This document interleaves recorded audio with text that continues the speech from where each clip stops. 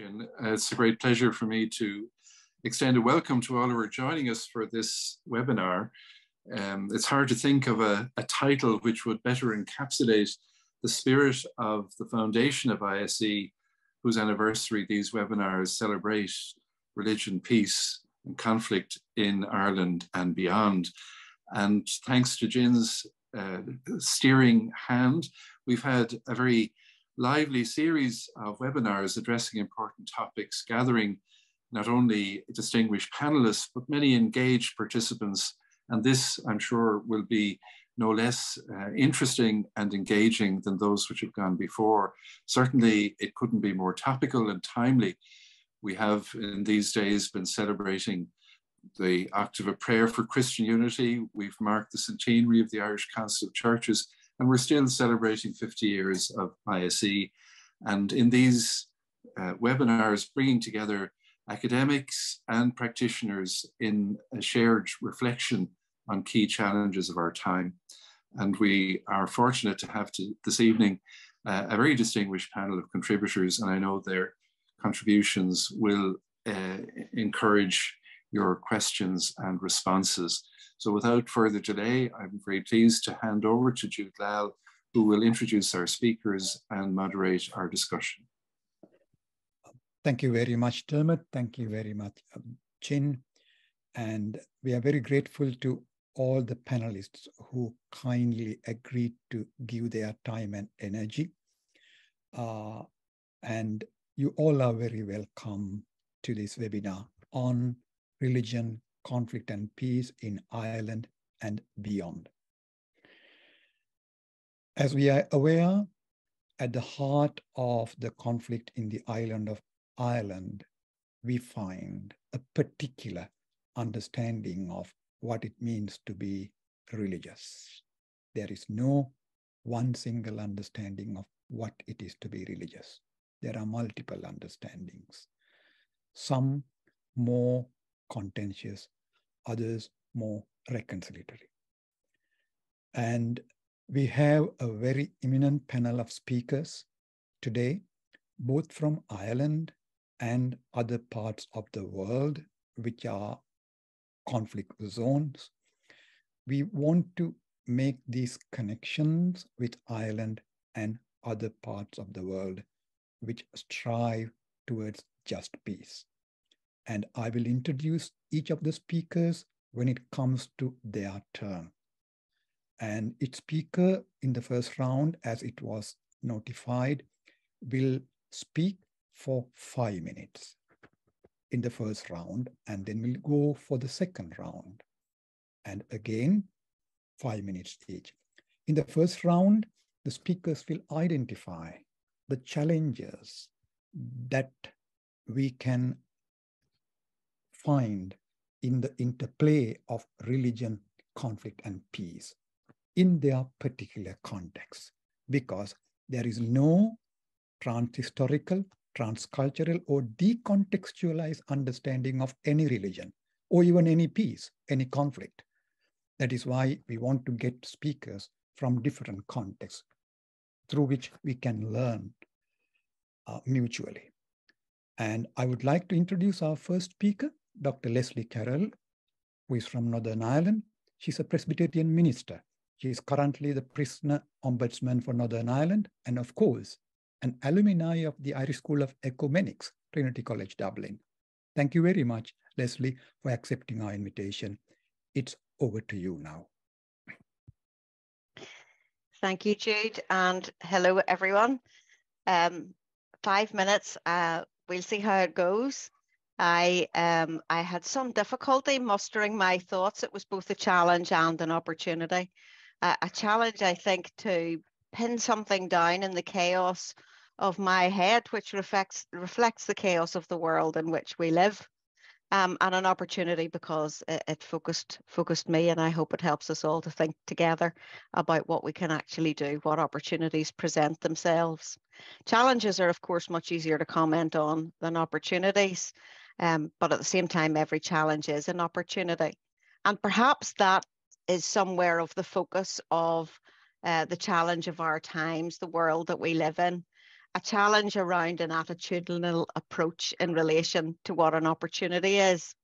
We live in a world, and I live in a in, on a part of this island where there is considerable focus on the difficulties, the challenges. What do we need to get done? What's wrong? Um, what does my community need? And much less focus on what's the opportunity of this moment? What's the opportunity of the challenge we are in? And I suppose it would be fair then to ask opportunity for what? I was uh, reminded of Proverbs 29, verse 18, which in old familiar versions says, Where there is no vision, the people perish. I think there's a challenge and an opportunity for vision making, challenging the persisting vision at national and also more local levels. Currently, the vision is something like dog eat dog, look after your own, don't worry about others as long as we're okay, make ourselves great. Um, in my part of this island, uh, I'm connected to Britain, and we are making Britain great. Make ourselves great, never mind anybody else. It's a self obsessed public narrative with little to commend it, in my view. And it's not built on a vision, never mind a faith based vision. In Northern Ireland, our public narrative is also one of loss. No one has got what they want. And 25 years on from the Belfast Good Friday Agreement, there's even more sense of that loss. Rather than the benefits embedding into our psyches to predominate in the public narrative and debate, it's the losses that have embedded themselves at this point. We know we have a natural human bias towards the negative, which back in the day, somewhere near the beginning of time, served us well. Our survival skills had to be honed so that literally we could survive, for example, in the land of the dinosaurs. We have a natural, automatic human tendency to the negative, to assessing the negative to dominate our actions and reactions. So anyone trying to construct a positive narrative will always face a greater challenge. I'm talking about that, but I'm talking about more than that negative human bias. I'm talking about deep rooted feelings of loss in Northern Ireland. And those feelings are gathering into new narratives 25 years on from the agreement. New narratives about the protocol and the assembly. Uh, I mean, the um, Stormont Assembly, not the Presbyterian General Assembly. Uh, that's a whole other narrative altogether. Um, so those those negative narratives are gathering and, and my greatest fear i suppose is that we're going to end up with a scenario in which we have a unionist community dissatisfied with the protocol agreement when it's reached and that means we'll have a ruling system uh, which dissatisfies the nationalist republican community um, so we'll have two communities who have lost even more it's likely to be true in other places as well think of bosnia where uh, things are not quite as stable as they used to be. So there's a challenge around the type of narrative and an opportunity there. And then there's a challenge about how we uh, how we get ourselves involved in that public narrative in this kind of solar plexus living world that we are in. Challenges coming from within our own communities where we self-restrict and the mainline denominations, Christian denominations in this part of the island do that particularly well. Um, uh, so we're not particularly well he- heard in the public uh, domain. And many have come to believe that we in the Christian churches are nothing but persecuted. Maybe only a small number believe that, but the impact of a small vocal group on a whole denomination can be significant and out of proportion to the size of that group. So there's a challenge in all of that to construct a vision. How do we get that vision out of the denominations given this sense of persecution? And it's important because, as Proverbs tells us, people are perishing. Some versions put that verse in Proverbs differently. Where there is no prophetic vision, the people cast off restraint. That brings me to a stark reality the reality of violence, of domination of neighbours, of care for some, and the significant exclusion of others. So, that for me is something of the challenge and the opportunity it's a challenge and opportunity that comes to faith communities, to us as people who have not been able to engage in the public square in the way in which I think we did 25 years ago. And that challenge is added to by the missing understanding of theological and biblical ideas in the public debate. And maybe I'll say more about that in a while. Okay, Jude, that's long enough, I think. Thank you. Thank you very much for that succinct and, you know, uh, lucid um, uh, presentation, Lesley. You focused on a particular kind of a narrative and also the accumulated uh, sense of loss and uh, the self pride or the collective pride, which are posing challenges to move beyond the negative uh, past towards a, a, a, positive, more optimistic future. Uh, let's focus on the latter part in the second round. And I would like, thank you very much for that. And thank you. Uh, the next uh, speaker will be Dr. Michael Kelleher. He's a Redemptorist priest from Isle, the island of Ireland and was the former provincial of his congregation. The Redemptorist religious community worked both in the north and south of the island of Ireland and has produced great pioneers of peace and reconciliation in, in the island, like Father Alec Reid. Thank you for accepting our invitation, Michael. It's your turn now. Good afternoon, everybody. It's nice to be here with you. Uh, I wonder, there we are. Um, so this time I'm going to offer a perspective, a Catholic Redemptorist Clonard perspective on the topic. And in the next five minutes, I'll talk a little bit about Father Alec Reid's uh, lessons from the streets. So the Redemptorist presence in Belfast um, is most significantly in Clonard Monastery off the Falls Road. Uh, Clonard Monastery was built in 1890, and I suppose that longevity is, is important. And it has been called the cradle of the peace process. Uh, it's situated, for those who know Belfast, right beside the peace line. Um, some people say walls have uh, ears. In, in Belfast, many walls have mouths. Um, there's lots of graffiti um, on, on walls and on peace lines in Belfast uh, that, that speak. The Redemptorists, founded in 1732, founded in Italy. So I'm a member of a religious congregation uh, living on the peace line in Belfast since the late 1800s. So some challenges. Uh, there's challenging history. Two peoples on one island, an indigenous people, a settler people. So the last several hundred years have, have been challenging history-wise. So two different cultures, a Celtic culture and English Scottish culture, a Catholic tradition, a Protestant tradition, or Protestant traditions, uh, difficult or different political aspirations, a nationalist, a Republican, or Unionist, Loyalist uh, political perspective. In the 1920s, there was partition, and there was a redemptorist in 21 uh, in failed peace talks, uh, an Archbishop Clune, who was based in Australia. There were cycles of violence. These were all part of the challenging history of that part of, of the world.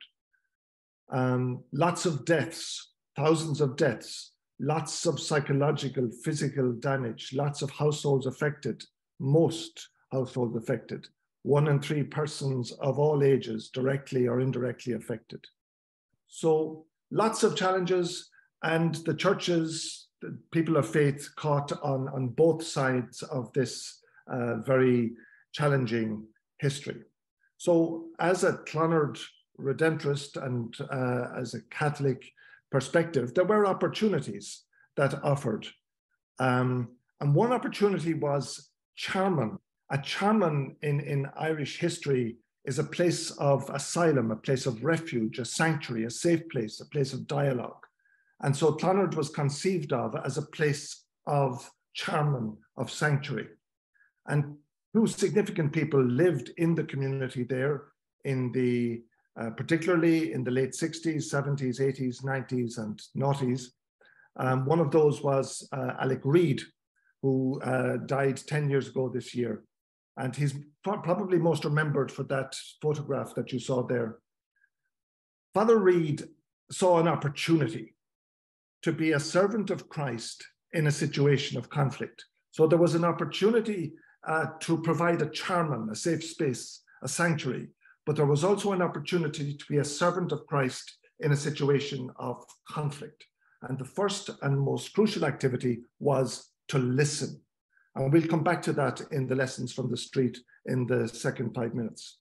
Uh, that is uh, Father Reid uh, having given the, the kiss of life uh, to one of the corporals who died in 1988. So he was involved in the decommissioning with Reverend Harold Good.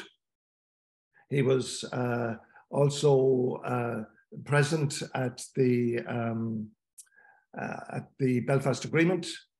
Um, we'll come back to his lessons from the street in the next five minutes, but some personal attributes, some opportunities for people of perseverance, for people who can be companion or who are able to build relationship. And there are opportunities for, for people who can work behind the scenes, who are trustworthy and not all of the time looking for headlines. Um, so there are different roles and I'm teaching my grandmother how to suck eggs here for, for people of faith, pastoral, prophetic, uh, reconciliation roles, building bridges roles. Uh, one of the things that Father Alec and, and others in my Catholic Redemptorist tradition would try to avoid is too much wagging of the finger. Um, maybe a little more listening and a little less wagging of the finger uh, from church folk.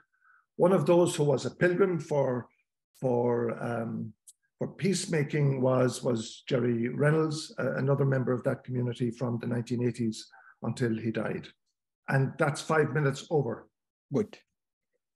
Thank you so much, uh, Michael. Um, uh, Lesley uh, talked about how challenges can also be opportunities, and you very clearly pointed out how those opportunities were available and how they were really utilized, like in the person of Father Alec Reid. And thank you so much for that. And our next speaker, the third speaker, is uh, Professor Mitri Raheb. Uh, he is uh, a Lutheran pastor uh, from Palestine and is the president of Dar al Kalima University in Bethlehem and is one of the most uh, prolific Palestinian liberation theologians who has published immensely. And thank you, Mitri, for accepting our invitation this evening. And the floor is yours. Thank you, Jude, and um, good evening, everyone. It's great to be uh, among uh, uh, scholars and friends uh, uh, this evening.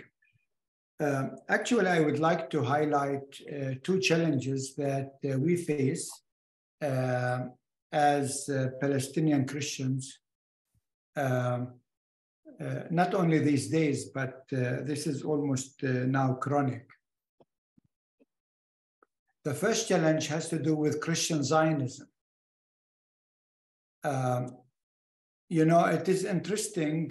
Um, I mean, thinking of the topic, uh, you know, of um, religion, conflict, and peace in Ireland and beyond.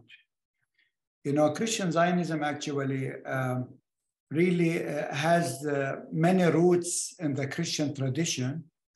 But uh, in the 19th century, uh, it was uh, triggered um, by an Anglo-Irish pastor, uh, John Darby, uh, who thought that uh, for Christ to come back, a kingdom of Israel should be established in Palestine. Now it's you know nice for a British Irish, uh, per, uh, Anglo Irish person uh, to, to promise Palestine to his fellow European Jews and this way to get rid of them. Uh, and um, actually, this made history because uh, this became a few years later uh, official British uh, policy. Uh, and, um, you know, Balfour, uh, as you know, uh, promised um, Palestine then as a homeland for the Jewish people, though the Jewish people at that time were 5% of the population, and the native Palestinians, both Christians and Muslims, were 95%. So I always like to say that it wasn't the Lord God who promised Israel the land, it was the Lord Balfour, which really means this was uh, a deal of an empire uh, uh, and not uh, something that has to do with religion. Now, uh, I, I, think the, the question that now I'm dealing with a lot is how do we understand uh, Christian Zionism? And I think uh, for a long time, people were thinking these are like crazy Christian who, you know, take few uh, uh, verses from the Bible and they read it in a very weird way. But actually, I would like to see uh, or, or to re redefine Christian Zionism. Uh, uh, uh, I, I, I, would like to redefine it as a Christian political lobby that supports the Jewish settler colonialism of Palestinian land by using biblical and theological construct within a meta narrative while taking local, will mean global and local consideration into account. So this definition basically is less focused on biblical discourse of Christian Zionism, which can vary considerably because we have literalist Christian Zionists, but also we have post-Holocaust liberal Christian Zionist theologians. But we look here at not at what they think, but what they do. And what they do basically is they support uh, a settler colonial project of Palestinian land, uh, which is not their land. Uh, and uh, they think by doing so, they are doing God a favor, not the Jewish people, because at the end of the day, Christian Zionists really, they don't love the Jewish, uh, Jewish people. They want to get rid of them because even in their idea of Armageddon, they would like to see two thirds of the Jews somehow perish when they return to Palestine or when they come to Palestine, because they are not returning, they are coming as settlers for the first time. Uh, and, uh, and the third, third of Jews will then convert to Christianism, to Christianity. So basically, they are calling for the annihilation of, the, of Judaism uh, in the name of Christian Zionism. Uh, and, uh, you know, these people uh, today are spread not only in Europe, or North America, but actually across the world. We have them very much in Latin America, in Africa, and in Asia. Uh, and uh, they actually support all of these popular uh, world leaders that we have today. If it's Trump uh, in the US, if it is uh, Bolsonaro um, in Brazil, etc. Now, the second challenge actually is the Jewish Zionism. As you know, a month ago, uh, a new Israeli government was formed. Uh, Netanyahu and actually uh, the uh, Jewish uh, Zionist uh, groups, two Jewish Zionist groups. and if we read actually what, um, what, what these, what, what, what is the program of this new uh, government, um, uh, it's uh, really scary what they what they have in mind. Because if you read it, they are saying that that it is only Jews who have exclusive and unquestionable right to historic Palestine, which means Muslims and Christian Arabs have no rights to be in historic Palestine. This is their official uh, uh, agreement. And the second thing is that they say they are committed to build uh, Jewish colonies in all of Palestine, all of historic Palestine, including the West Bank, meaning in Bethlehem, where I live, where today Bethlehem is anyhow uh, surrounded by 22 uh, Jewish settlements who control 86% of Bethlehem County, leaving to the native Palestinian people only 14% of our land for our own use. So these are the two challenges that really are not only making our life uh, uh, sour, but who are really making sure that there will be no peace uh, in this region uh, because settler colonialism and the difference between settler colonialism and uh, you know uh, traditional colonialism is that in settler colonialism settler they come to stay and to replace the native people to push them out of their land. And to do that they have to actually create uh, a, a military uh, system that exclude people from everything and control every life. So that just this morning, um, Israeli troops entered into one refugee camp in the north of Palestine and killed nine people, assassinated them. And this is done on daily basis. It is like a Jim Crow time in Palestine. And again, they have impunity because the empires are backing them. I mean, Britain never actually apologized for what they did in Palestine, for promising Palestine uh, the way they did. Uh, and so these are really, we are facing an empire. That's our challenge. And this empire uh, weaponizes uh, religion for their own political end of settler colonialism uh, and uh, white supremacy, if you want. So these are the challenges. Thank you. Thank you very, very much, Mitri. Uh, you connected the dots uh, in the first instance. And secondly, most importantly, you gave us a broad framework uh, in, in, in the uh, notion and the reality of the empire. And that helps us uh, to engage in a deeper conversation across the borders. And our next speaker uh, is Professor Magali do Nascimento Cunha from Brazil. He worked as a professor in religious studies in the Methodist Universities of Rio de Janeiro and Sao Paulo. He's a journalist and is currently working as a general editor of Bereia Collective, a website that confronts religious fake news in Brazil. We truly appreciate your time and energy given to this webinar Magali, the floor is yours. Thank you. It's uh, very happy to be with you. Thank you for the invitation. Greetings from a warm Rio, Rio de Janeiro. And I prepared a short paper to help me to keep the five minutes given. Since 2013, Brazil has experienced the insurgency of far-right movements that led to the election of Jair Bolsonaro in 2018.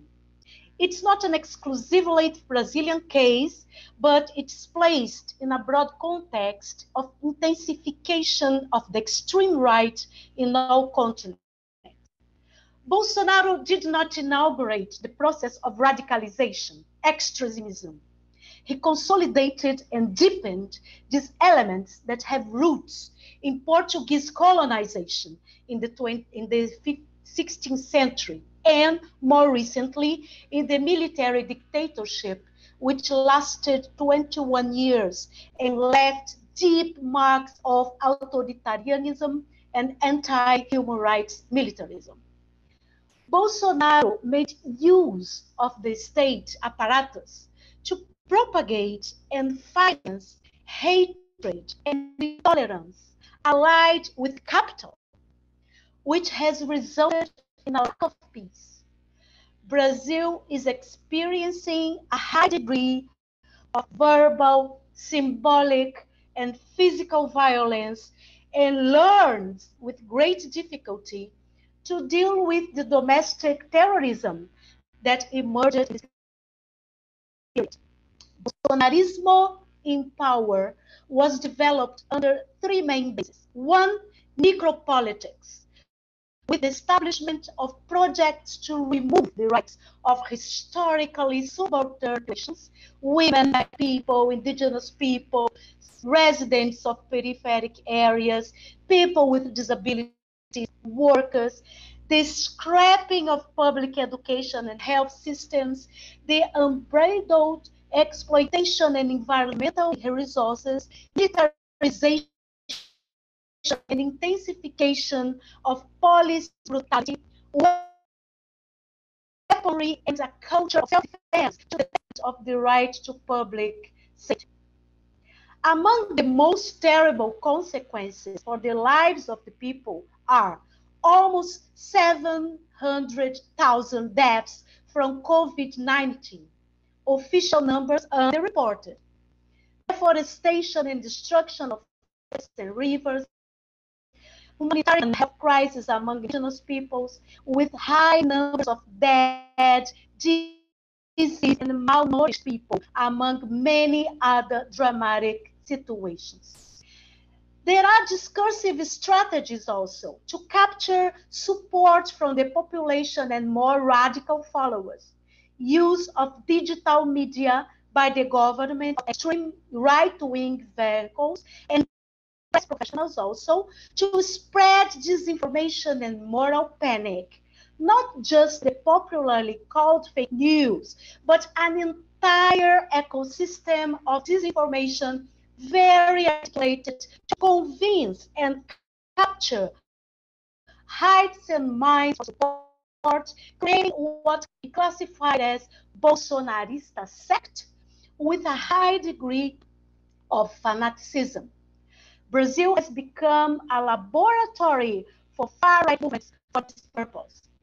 Support is captured especially by fear, connecting it to everything that represents the defense of human rights. Old images of an alleged communist domination via China, Venezuela, and Cuba, which would control especially freedom of property, religion, and freedom of expression, speech, and movement. In these discursive strategies, two convincing elements are strong. Populism, with the use of popular rhetoric by the leaders presented as simple, sincere, committed with the people, and the use of religious rhetoric and symbols that are fundamentally Christian, and the of other religious expression is part of the strategy. In this context, and I'm going to, to the end, of my presentation. It is in this context that a Christian right was formed and became fundamental in supporting Bolsonaro's government. This Christian right is based on dominion theology to justify the signs of God in the chosen leader, inversion of gospel values such as equality, solidarity, mercy, and selfishness, uh, classifying them as synonymous with communism in order to, in this way, tune political religion to the culture of individualism and the neoliberal logic of innovation and entrepreneurship. Emphasis in the discourse, us versus them, enemies, radical defense of pro-life and pro-family agendas as opposition to sexual and reproductive, reproductive rights, assimilation of the armamentist discourse and the language of self-defense and revenge based on the Bible. All this is strongly based on Christian Zionism, as my friend Mitri has just presented, and on the figure of a mythical Israel mistakenly related to the contemporary state of Israel. So Lula's victory last year represents a deliverance from Brazil. We can't imagine what would become the country with another other four years under the government of Jair Bolsonaro. However, right-wing extremism is entrenched, as evidenced by the incitement promoted by Bolsonaro and the allies against the election result with false allegations of fraud, which provoked the violence riots in December and here in January in the capital. There is a lot to do to overcome this process, and I will be sharing out opportunities next time. Thank you. Thank you very much, Magali, for that short but very detailed and insightful account of what's unfolding uh, in, in Brazil, which has resonances with the, with the other context that we are discussing. And uh, on the panel, our last speaker of the first round is Professor Neville Cox uh, from the Republic of Ireland. He is the Registrar of Trinity College Dublin and is Professor of Law and a barrister. Neville has researched on the highly contentious relationship between freedom of speech and religious freedom, particularly in the context of increasing Islamophobia in Europe. Thank you very much, Neville, for accepting our invitation. It's your turn. Thanks very much, Jude. It's lovely to be here. I, am I suppose, the one lawyer on the panel, which I don't take as a compliment to myself. Uh, but what I'd like to speak about, because I've only got five minutes, and obviously speaking about the position of Islamophobia in Europe, uh, you need a great deal more about that. So I want to to focus on one particular aspect of this, which I think is contentious, which is the mainstreaming within uh, Western European states of Islamophobic messages. And moving beyond Ireland here, you don't see this particularly happening in Ireland, uh, see it more in Central Europe. And I want to just raise this as a particular issue of concern. I think it arises in two specific contexts. the message, which is uh, messages rather, which are handed out are that inherently uh, Islam is a violent religion, uh, drawing uh, inherent connections between Islam and terrorism, uh, that Islam is also a religion which sits outside and refuses to integrate in any sense into normal or orthodox uh, European ways of doing things. Uh, and also that Islam is, as a religion, inherently and through its teachings and through its law, is inherently disrespectful of human rights. The mainstreaming of these messages has naturally a very substantial impact. Uh, insofar as Western European zeitgeist is concerned, there's a clear social ideal. Uh, and some of the things which will most threaten this, particularly post 9 11, are first of all engaging in violence or engaging in acts of terrorism, however you define them. Uh, secondly, disrespect for women's rights. And thirdly, in particular, disrespect for concepts of gender equality, which are such ingrained and settled norms within Western Europe. In other words, if you can mainstream the message that an entire religion, through its teachings, disrespects these norms, naturally you're presenting the entire religion and therefore all members of the religion as pariahs, as backward, uh, and as people who really shouldn't be taken seriously insofar as the European ideal is concerned. And this is hugely problematic because population statistics indicate that the Islamic presence, the Muslim presence uh, in Europe is growing substantially uh, and is becoming a really recognizable uh, minority group within the populations of most European countries. So, how does this mainstream happen? I think it happens in a number of ways, but two are of particular concern so far as my research is, is concerned. The first is in relation to the so called blasphemy scandals, which have happened in Europe over the last uh, couple of decades. I'm thinking particularly here of the Danish cartoon scandal uh, and the reaction uh, to this, but the same probably goes for what happened in the context of the attacks on the Charlie Hebdo offices. If we take the Danish uh, cartoon scandal, you remember in 2005 there was a publication of 12 cartoons in Danish and a Danish uh, newspaper, all of which depicted the Prophet Muhammad.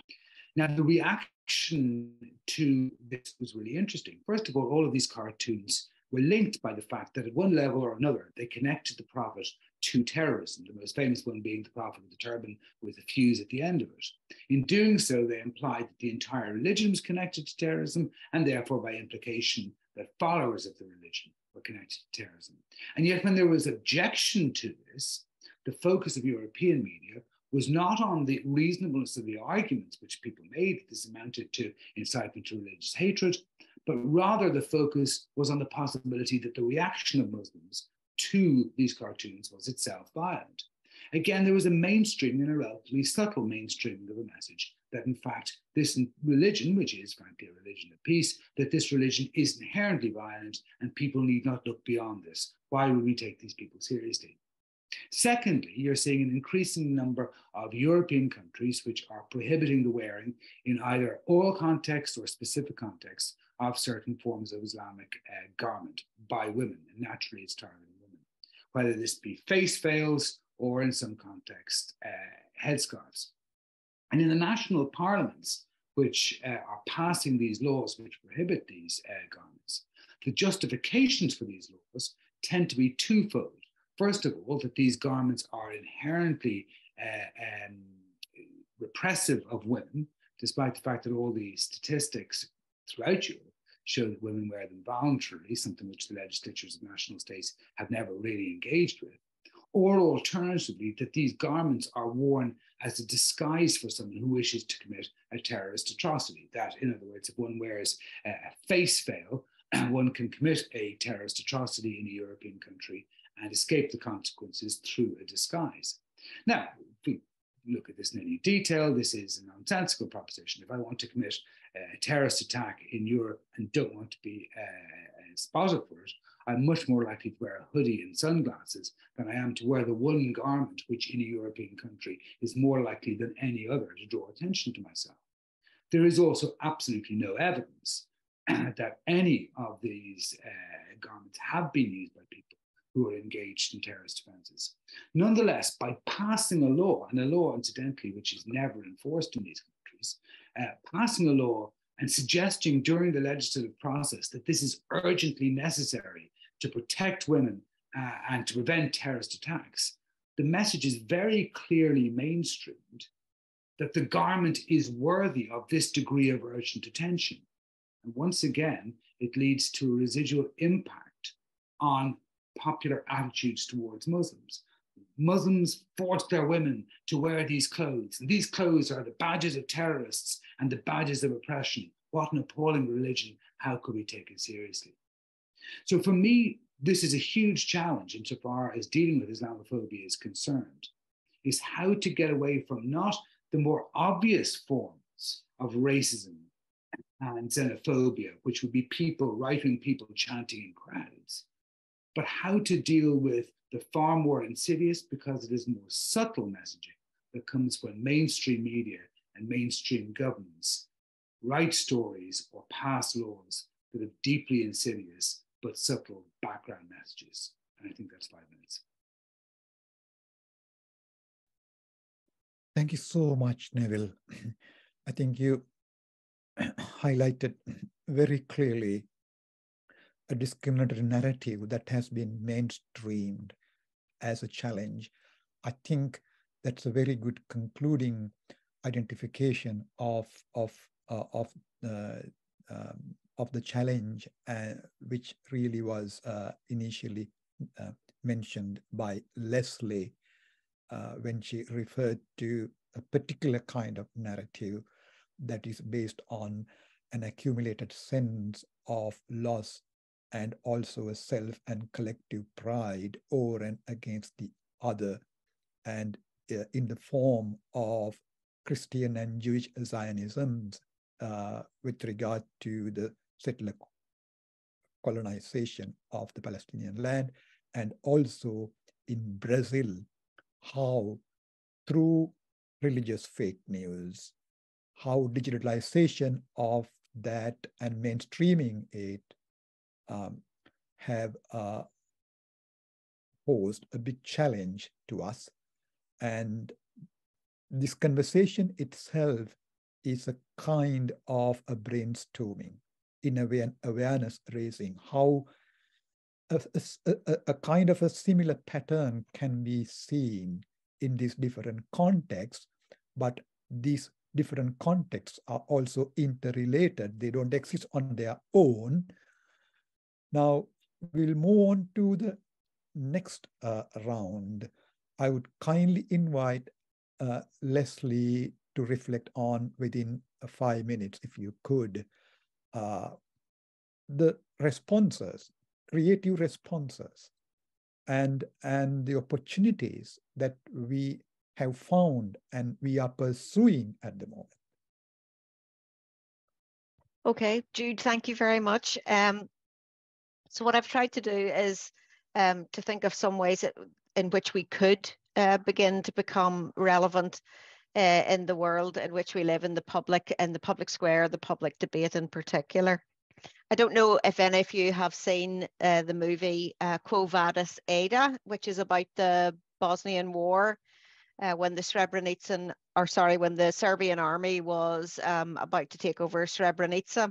Aida was a teacher and her job was to work with the UN as a translator and to help to bring pe the people of Srebrenica um, to some safety, except that it wasn't.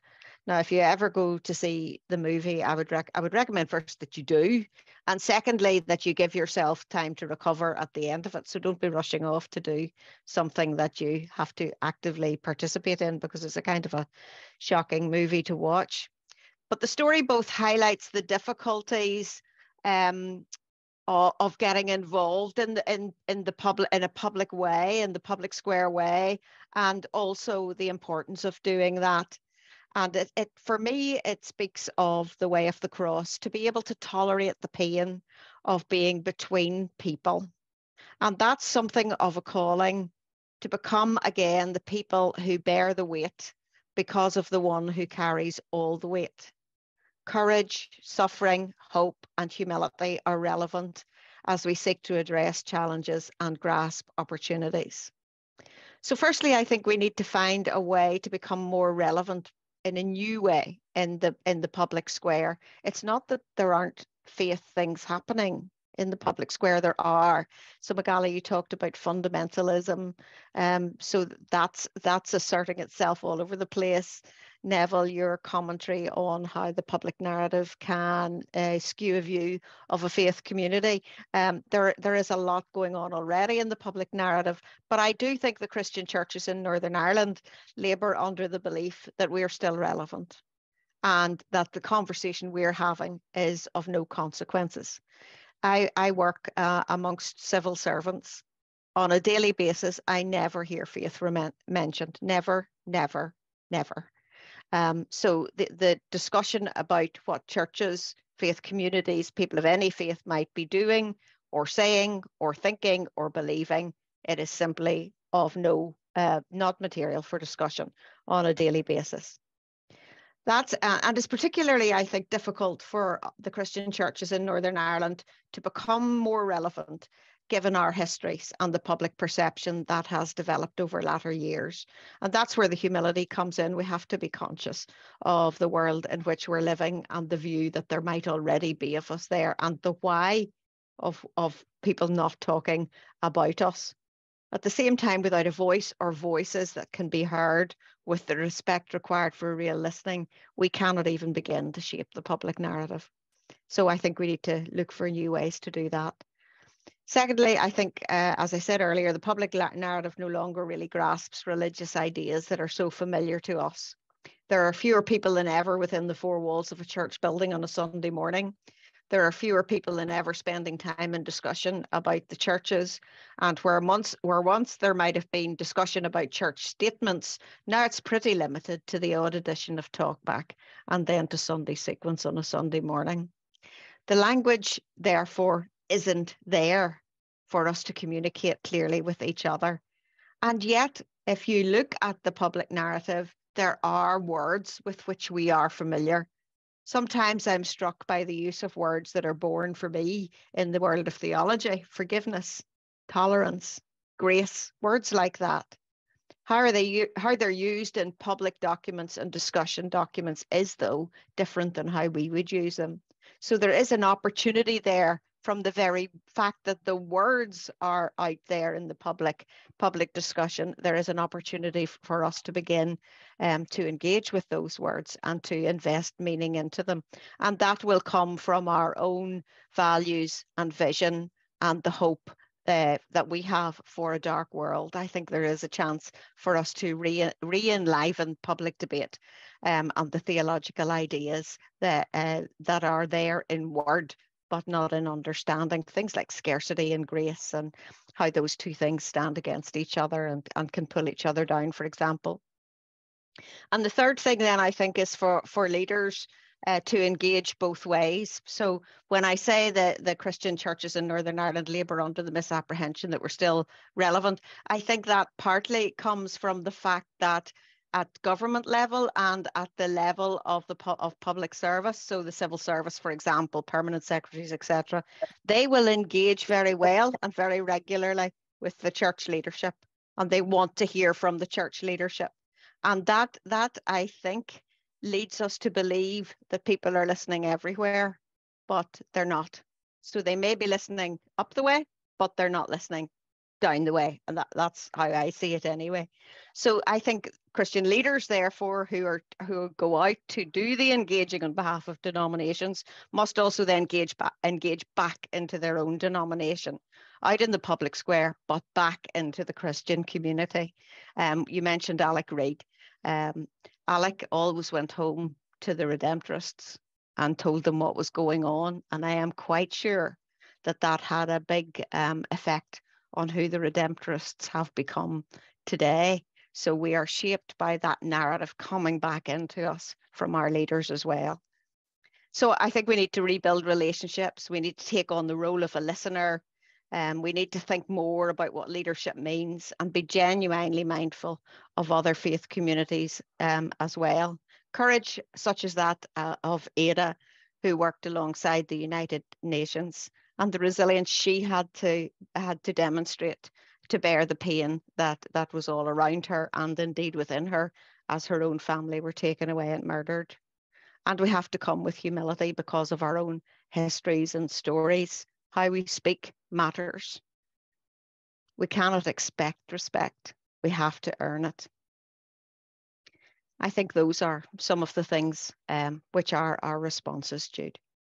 Thank you very much, uh, Lesley. Uh, connecting it to uh, Father Alec, uh, and you very clearly said one of the ways to overcome the challenges is to get involved in between people in the public square. That's exactly what Alec did.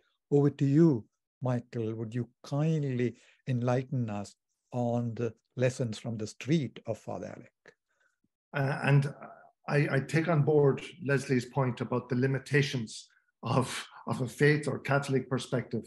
Um, but there still might be something to be learned from Father Reid. Uh, he used to speak about lessons uh, from the streets so there weren't lessons from anywhere but the streets and his experience on the streets. And there were usually six of them, sometimes seven, four primary lessons and two secondary lessons building on the first four. Um, so basically, his first lesson was you're not alone in peacemaking. Um, you know, this is uh, something that is done with the accompaniment of the Holy Spirit. So you can Without me, you can do nothing, but with me, all things are possible. Uh, so more things are possible in Father Alec's vision uh, because the Holy Spirit is working with you. Um, so once when the Basque-Spanish peace process was facing a serious and worrying difficulty, Father Alec said to a leader of the Basque left-wing patriots that they would overcome it with the help of the grace of God. And when this comment was translated for him by an interpreter who was, uh, he was speaking in Basque, the reply was translated to Alec as follows. He said to tell you to get as much of that as you possibly can. This is the grace of God. Suppose you're not working alone, which is maybe important for peacemakers who feel a little bit isolated. Um, so again, uh, Alec was uh, a hurler. He spoke about the Holy Spirit and he, he believed the Holy Spirit was on the pitch. And I think, you know, no matter what religious tradition, uh, if you believe that God is with you in your work of, of peacemaking, uh, you, you, know, it's maybe a, a help. So listen to the dignity of the human person is foundational uh, for, for Father Alec. As a human person, as a, as a human being, you are worthy of dignity. And I suppose as somebody who is saved, um, uh, you are even more uh, worthy of dignity if that's possible. So for Father Reid, that is the key um, the dignity of the human person, uh, using a person's name, thank you, showing appreciation, building relationship with human beings, other human beings. And I suppose um, dialogue is, is where that takes you. Um, and face to face communication between human beings, different human beings, all of whom are worthy of, of, of respect, no matter what historical, political, cultural differences that, that exist. And, and next, listening is, is the most important activity of that dialogue. So it's, it's a journey into the world of, of the other. And I suppose creating places of dialogue where you can build relationship, places where it's safe. Um, that's not easy in a world where there's immediate media reporting of everything. Um, you need confidential, safe places to build relationship and to learn about the other and, and maybe to risk learning about the other. Um, and that's very difficult to do with, with immediate access uh, to the World Wide Web. Um, so now, in a world where gender uh, politics and, and gender understandings are changing and have changed, uh, Father Alec actually was, was not quite as traditional as people might expect. Um, he would have said everybody, no matter how they self-identify, is, is worthy of respect. And, and really what he was saying when he was talking about the male-female dynamic is to give space to diversity and listen to diversity. And uh, he certainly, in the next uh, slide there, he would have seen it very important. Um, he would have thought that the peace process would have gone more quickly if there were more uh, women involved in politics and in the negotiations. Uh, and he was a person who worked very closely with his aunt Ita, who was his secretary for many years, and, and with many other uh, men and women. But he was really, I suppose, open to diversity and, and, and respecting diversity. And that individual respect for human dignity goes also to respects of the right of a, the rights of a community. So any community that can claim historical, political, cultural identity of its own has rights based on the dignity of the human person and on the respect that is due in justice to that dignity. So this is key. Um, it would have led him, if he had published this, uh, to um, conflict within his own Catholic Church, because for Father Alec, um, the dignity of the individual as a human person and as a child of God, and the dignity uh, that must be shown in community, um, leaders in churches uh, must structure uh, must have structures of dialogue in place and listening in place to listen to the Holy Spirit working in God's people. He, he was absolutely against an authority from above, and he was all about listening. And I suppose the story of Liz, um, there was conflict on Alec's side of the peace line, the Clonard side of the peace line one day, and Alec hadn't wandered over to the Shankill on the other side of the peace line. Um, and one day he decided to wander over and he knocked on the door of a house and, and the lady of the house opened the door and she was kind of shocked to see this man dressed in black. Um, and, and she kind of said, um, well, what are you doing here? And he explained, and she said, do you want to come in? And she invited him in. And uh, as he walked in the door, he had never met this woman, he'd never been in this house, and he saw love one another uh, over her kitchen door. And on the next slide, he went in further uh, and he saw God answers prayers and the Lord is my shepherd. And he realized that this home of the other wasn't uh, a very strange place. And that if you took the risk to listen to, to respect, to journey towards the other, it could actually be a very enriching place to be. Um, but I think to have places where you can build relationship, where you can listen carefully and, and take a little bit of time and build trust, that I think is a lesson uh, that can be taken from Father Alec's lessons into other parts of the world and into other places. Thank you very much, uh, Michael. Um, you know, in the in the context of Ireland, at the at the present moment, uh, the the reflection is on how to bring the two communities together, uh, and the focus is on forgiveness, reconciliation, and and human dignity. But in the context of Palestine, when every day there is a death, more than one. The, the drive is end the occupation. And would you, Mitri, please come on board now? Yeah, thank you, Jude. Um, so, what can we do? I guess is the question, and uh, I would like to offer uh, four ideas uh, for reflection, maybe, and discussion.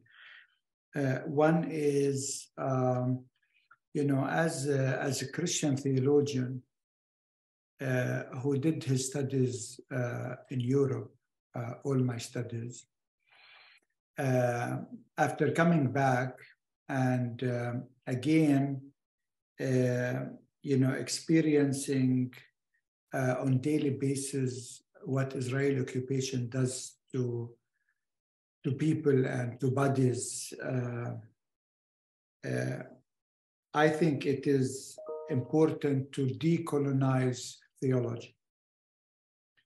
The problem is that theology today is very much uh, actually something that was um, shaped by the empire. Uh, and the, the main question for me is Is the Bible a tool for liberation or colonization? Now, unfortunately, historically speaking, uh, the Bible was used in so many centuries as a tool for colonization. You know, in Africa, you know, they tell you, you know, uh, you know, the white missionary came with the Bible and told the blacks there, let us pray. And they started praying. And when they opened their eyes, the black had the Bible and the white had the land. Uh, I mean, so really, the, the, uh, we need to decolonize uh, uh, uh um, theology. And the other thing with theology is we need to liberate theology from the, you know, this spiritualization. You know, liberation became salvation, and so on. But this wasn't the intention of the Bible. Why? Because actually the Bible was is a book that was written by people over 1,000 years who were living under occurring empires from the Assyrians to the Babylonians to the Persians to the Greek to the Romans. I mean, think of this that Jesus himself was actually born under occupation, lived his entire life under, under occupation as well, and was crushed on the cross by the power of occupation. And so this is how we need to understand this text as actually text of people who were oppressed, they are not text of oppressor, but the moment the Bible became the text of the oppressor, it became a tool for settler colonialism. Uh, um, so this is the first idea. The second uh, important thing I think we can do is we need to empower our people by uh, creating room for them to tell their story the way they want to tell us. You know, as Palestinian, often our story was told by others. Uh, and our story was distorted by the media. And, you know, part of settler colonialism, actually, to uh, if you want to keep settler colonialism, uh, you have to stereotype those who whom you are pushing out by calling them savage, backward, terrorists, etc. Because only then, you know, you can have a good conscience by actually kicking them out. And so it's high time to give uh, uh, to give space for people, the oppressed people, to tell their story, uh, and to give to tell to give them tools to do it in a creative way. And this is why, for example, at our university, we really wanted to invest uh, in, in arts and culture as the tools for social transformation. So uh, helping our people to tell their story through film, through music, through theater. This is so powerful because it humanizes them. You know, today again, these nine, now there are 10 people who were uh, assassinated in cold blood by the Israeli military. You know, these people who have names, they have families, they have kids, they have mothers, they have stories. They are not numbers, it's not 10. And so we need to tell these stories. You know, if it were a Jewish person who was killed, only one, you will have his own story and a nice picture of him and his, you know, his, his wife will be crying. And, and, and Palestinians, they don't deserve even one sentence in the newspaper because this assassination, this lynching of Palestinians has become a daily thing that Israel is doing with impunity. And so this will bring me to the third uh, issue, which is really we have to resist the imperial structures, not the people. You know, our problem is not with Jews as such. Our problem is with an imperial structure of oppression that wants to eliminate us. That's our problem. And these structures we have to unmask as, as structures of oppression.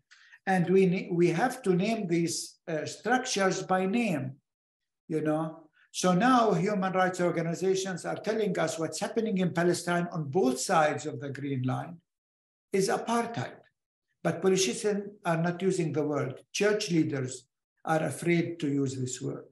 But human rights organizations, including Jewish human rights organizations, B'Tselem, Human Rights Watch, uh, uh, you know, you name it, uh, uh Amnesty International are saying this is apartheid. So naming the structures by name, settler colonialism, is important because people understand the structure, it's not about the people. And the last thing is we need to widen and to invest more in creating networks. Because, you know, our story is not only a Palestinian story. Our story is the story of so many indigenous people in Brazil, in Latin America, in South Africa, in Australia, in New Zealand, you name it. Everywhere where the empires went, you know, that's the story. And so uh, those who are with us are actually more than those who are against us, but we are not yet uh, organized. And so organizing our people understand that, you know, including, you know, network with, with Jewish human rights organization who understand the oppression and are ready to resist it. This is so important because only together we can work towards a better future so that all can have life and can have it abundantly and not only the 1% right now who are really you know uh, uh, you know controlling uh, over 90% of uh, you know the wealth of the world thank you very much mitri for emphasizing the need to come together. Magali, it's your turn now, please. Yes, thank you. And I'd like to share three opportunities for churches in partnership with public agents concerning the issues I brought in my first presentation. Three opportunities. First, in the field of human relations and social policies, the search for urgent ways to pacify families and religious groups. There is a very serious social fracture in Brazil, and a pacification process will be necessary that involves educational, affective processes to promote a culture of peace, dialogue, tolerance, and also the judicial accountability of those who promote hatred and violence in the social, political, and religious field. It's very urgent in Brazil to publicize public condemnation of armament, of the logic of self-defense and revenge, and pressure for disarmament policies. Lula's government, in its first weeks in January, has been developing processes to humanize politics, but at the same time, searching to avoid impunity and apply punishments to domestic terrorists who had been acting freely. This is important, fair, and educational, and churches need to be together with public agents. Also, there is opportunity to support or create international articulations, networks like Mitri has just mentioned, for the mapping of fair right groups, especially those that act in the context of religions, in order to understand their articulations, their capacity for action, the sources of funding. These people have a lot of money to act, and thus collaborate with groups that act for rights regionally to devise coping strategies based on these profiles. The ecumenical movement can be, for example, one of these privileged articulations.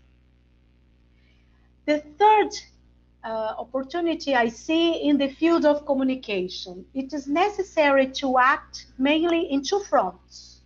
First, understanding the processes of convincing people exploited by the extreme right especially those who make use of religion, seeking to understand more deeply the relationship between people and religion and the place of religion in the everyday life, establishing meaning and interacting with other processes of existence.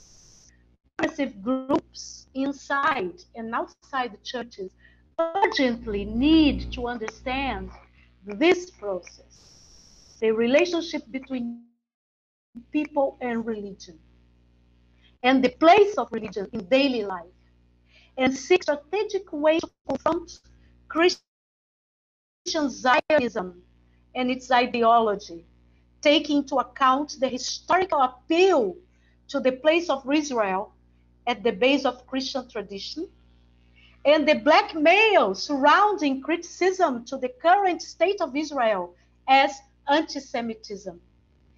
Still in the field of communication, support projects to tackle misinformation, disinformation, by publicizing the work of fact-checking agencies and acting on social pressure for legislation that holds accountable digital platforms that profit from lies and hate give special attention to segmented disinformation circulating in religious environments.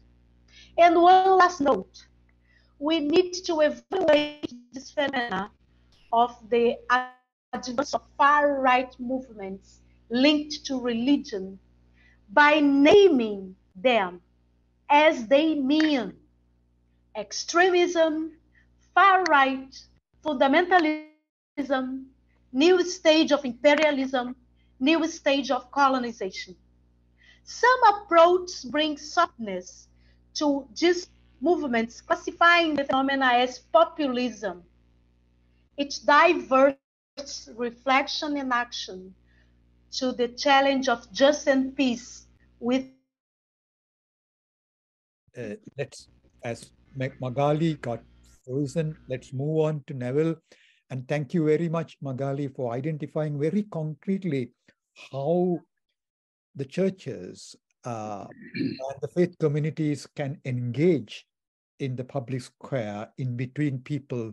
And over to you, Neville, to uh, enlighten us on the possibilities uh, and, and the opportunities against the challenges. Okay, and so I'm going to return to the challenge that I faced or that I mentioned originally, which is the concept of Islamophobia, but this applies more generally in terms of the position of people uh, of various religions who find themselves uh, repressed in particular countries. For me, the challenge is the same as one of the biggest problems. The challenge should be, or the way, I'm sorry, the, the, the response and the, the solution should be uh, thought through the language of human rights, which is the world's first international legal language and which is posited as potentially the sort of uh, a panacea to all our, our, our, ills. The difficulty is, in fact, it seems to me, uh, both in Europe and beyond, the internationalization of human rights has in fact been part of the problem here. And I mentioned this in two particular contexts. The first context is in relation to the approach of the European Court of Human Rights, wherever freedom of religion is concerned. And we've seen this in cases, for example, where women who've been prohibited from wearing certain forms of Islamic garment have challenged this in the European Court of Human Rights, claiming this represents their uh, represents a violation of their right to freedom of religion also challenged in the Court of Justice of the European Union, where what we're dealing is with the, is, with is the refusal to allow women to wear garments in the workplace. In all of these contexts, these claims have been rejected uh, and been rejected pretty much out of hand by the European Court of Human Rights. And this is because it seems to me that where religion is mentioned, the European Court of Human Rights, which fears for its own future legitimacy, has in effect vacated the playing field. It claims that there is a right to freedom of religion. It claims that it has jurisdiction over this, but it gives it no force whatsoever, virtually always deferring to what national state wants to do and taking, uh, from, as it were, at face value, some fairly ludicrous claims that national states have made in defense of their laws. It engages with it, in other words, in no meaningful way. And I've no difficulty, or would have no difficulty, uh, with the idea of the European Court of Human Rights saying religion is too controversial for us. We cannot properly monitor or supervise uh, a right to freedom of religion, but that's not what it does. What it does is that it continues to pretend that it is enforcing the right to freedom of religion, whereas in reality, it simply gives it no substance whatsoever. And in doing so, it has massively impoverished the concept of freedom of religion in Europe. And that, for me, is a huge challenge uh, insofar as the legitimacy of human rights in Europe is concerned. At an international level, I think there's a, potentially an even greater problem when we look at what the United Nations Human Rights Committee has done in relation to, for example, freedom of religion and in relation to freedom of expression. Because what it has done is it's taken a particular view of how states should be organized on an entirely secular ideal, probably an American style secular ideal rather than a French style secular ideal, and has presented this as if it was of universal validity. So, for example, it said that insofar as the right to freedom of expression is concerned, whereas according to the Universal Declaration on Human Rights and all the human rights treaties, it's legitimate to restrict freedom of expression in the name of public morals, which, from the perspective of states that endorse religion, would include things like blasphemy laws, the United Nations Human Rights Committee has said that your public morality cannot be made up of an exclusively religious tradition. Now, there is no basis whatsoever in any of the human rights treaties that would justify this conclusion. And the risk is that the International Human Rights Committee has got a particular vision of what religion is, something that should be done in private, something that shouldn't have any kind of public impact and shouldn't really dominate people's worldviews that's something for the slightly odd, the religious. And it's presented the alternative vision, the secular vision, as if it was the only game in town. This is again problematic because it seems to me that for those groups who are marginalized on the basis of their religion, the concept of freedom of religion and the concept of the autonomy of the person is hugely important. International human rights treaties provided ammunition for this kind of claim to be made at both a local and at an international setting but it's been robbed of any meaningful force by the very bodies who are supposed to be enforcing it. So the challenge, it seems to me, is to bring the concept of freedom of religion, to make the meaningful concept of freedom of religion continue to have force, but it can't have any force the way in which it's currently being supervised and monitored, both in Europe and internationally. And again, I'm sorry, but I hope it's in five minutes very much, Neville, uh, for going back and forth from the international treatises and the way in which uh, that they are, you know, treated or not treated uh, in the in the established uh, European codes and how we could intervene uh, in, in different fora with regard to this. Now, as we are running short of time, I would not really uh, pose the questions. There are few on the chat box, but I would really like each one of you kindly to take one minute each uh, and uh, make a brief uh, comment, a suggestion, a reflection as a concluding, uh, you know, a, a remark. Would uh, Lesley kindly um, take one minute? There, there are many different concepts that are colliding or not colliding in the public square. Um, I'm taken with your um, your human rights stuff, Neville. Um, so meanings at issue, um, the meaning of what what we're doing, um, and the meaning of concepts that are out there, and also then with um, the the history and the weight of knowledge, experience, and wisdom that we have from our histories that we're missing. Hope that's enough, Jude. Thank you. And Michael? I suppose I just want to say thank you. I want to say thank you for trustworthy people who are working for peace. And um, I suppose in a world where international agreements are made and, and then somebody or countries step out of these international agreements willy nilly, um, I, I think being trustworthy and being honorable and actually um, willing to enter into honorable, trustworthy relationship with other groups and, and other countries is actually something to be grateful for. So thank you for the trustworthiness and the, the integrity that's uh, obvious here. Thank you very much, Michael. Mitri? Yeah, um, I mean, uh, I was thinking of what uh, Neville said about human rights and so on, uh, because you know, unfortunately, when it comes to Christian Zionism and Jewish Zionism, uh, divine rights trump human rights, and I feel we are in an age where you know all the human rights uh, and, and conventions and so on uh, that were created after the Second World War um, are somehow right now being questioned by this populism and and Christian Zionism and so on. And so uh, I guess keeping somehow divine rights and human rights together is something for the future would be really important because uh, I, I, think as Christians who believe that um, the divine became human, which means every human life is, is sanctified. And I think this we need this today maybe more than ever. Thank you very much, uh, Mitri. Um, I would like to make a, a, a brief reflection, starting with uh, Lesley, who reiterated the importance of getting involved in between people.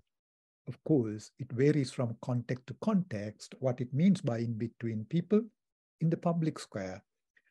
And I could see pastorally how that engagement was made uh, true uh, by, by Alec Reid, And then we could see how uh, Mitri focused on how the task has to be multidimensional, uh, theological, pastoral, letting people speak out, prophetic, and then unmasking uh, the empire, uh, and then networking, and Magali concretely identified what steps could be taken proactively, decisively, particularly in the digital uh, world. And I'm coming to Neville, uh, who reiterated the need to uh, highlight the importance of different nuances of religious traditions and how these could be taken seriously by international uh, mechanisms and regimes of human rights. Neville, you have one minute to, to reflect on, please. So I'm the one non-theologian here, and so I'm going to give you one thought on religion, and again, this is not my expertise, but it's this. I think there are two choices if religion is going to be useful and contribute to peace building, as it seems from be the source of uh, anger and warfare. Either you recapture the concept of humility, uh, uh, which is very difficult because it seems to me that insecurity and arrogance tend to be the flip side of each other within the human uh, experience. But if you go into the business of religion without actually saying, I could be wrong and I'm probably wrong on most things because I'm dealing with something which is vastly beyond my comprehension, then you're going to have the awfulness of people thinking that God's on their side and therefore why shouldn't they blow up the enemy because they're an enemy of God. If that's impossible, if humility, genuine humility of belief, genuine acceptance of the very substantial possibility that you might be wrong, if that's impossible, then the only true way, I think, to peace is to abolish religion. I wouldn't like that Thank you very much, Neville, uh, for that very useful insight. And thank you very much to all our panelists uh, for giving their time and energy. Sadly, uh, we are we are we have lost Magali due to technical reasons. And thank you very much for all the participants for staying. You're back. Magali, sorry. Could you kindly give one minute uh, as, as a concluding remark, please? No, just thank you. I don't know what happened with my audio. It, I lost you, uh, but I could see you, couldn't listen to you. But now I'm back just to say thank you. I learned a lot. Sorry for not listening to what you said by by then by concluding remarks, but I learned a lot with you. Thank you so much. Thank you very much. And to everybody uh, for, for participating. And thank you, Jean. Thank you, Dermot, for organizing this event. And there are other webinars uh, which the Irish School of Ecumenics is organizing.